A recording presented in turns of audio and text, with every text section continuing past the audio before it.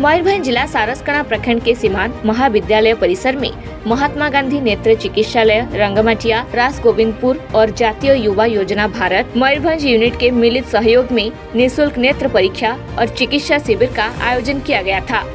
इस दौरान 103 लोगों ने अपने आँखें परीक्षण किए। जातीय युवा प्रकल्प का, मयूरभंज शाखा यूनिट का सदस्य का अनुकूल्य में एक नेत्र परीक्षा शिविर हुआ था।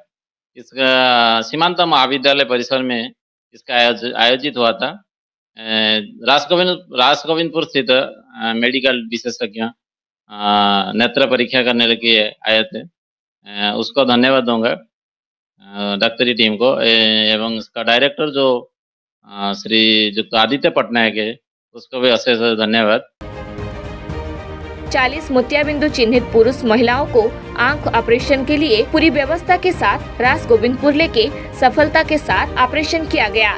सारसकणा से मलय नायक का रिपोर्ट एवन उड़ीसा